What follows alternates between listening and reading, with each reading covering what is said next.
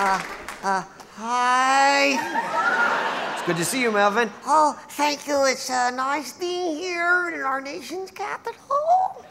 So you're a superhero. Yes. What is your most outstanding feature? My costume.